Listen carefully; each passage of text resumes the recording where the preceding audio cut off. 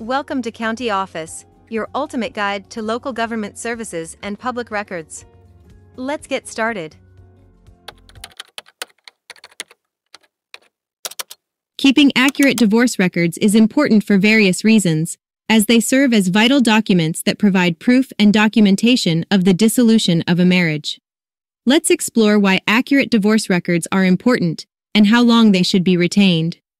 First and foremost, accurate divorce records establish a legal record of the divorce.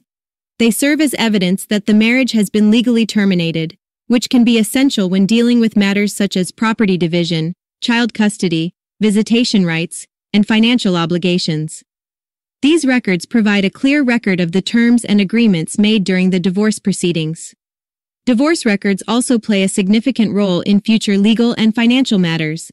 They can be required when applying for government benefits, changing legal documents, such as driver's licenses or passports, updating insurance policies, or proving marital status for remarriage.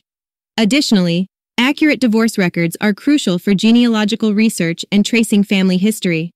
They provide valuable information about family relationships, names, dates, and locations that can be of interest to future generations.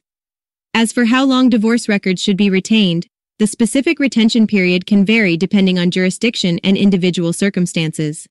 It's advisable to retain a copy of the divorce decree and related records indefinitely for personal reference and future legal needs.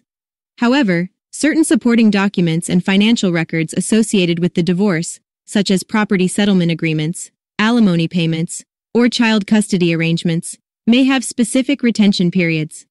It's important to consult local laws and regulations, or seek advice from legal professionals or accountants to determine the appropriate retention periods for these specific documents. By keeping accurate divorce records and retaining them for the recommended duration, individuals can protect their legal rights, facilitate future transactions, and maintain a comprehensive record of their marital history.